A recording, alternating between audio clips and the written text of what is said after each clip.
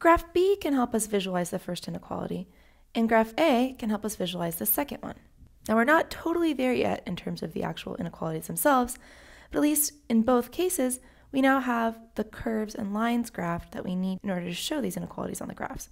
Remember that when we were dealing with solving equations graphically, we could look at both sides of an equation and set each one individually equal to y, and then graph the two equations that gave us. So in this first graph over here, which we know corresponds to x squared minus 16 is greater than 0, I've graphed the parabola y equals x squared minus 16, and I've graphed the line y equals 0, just the x-axis.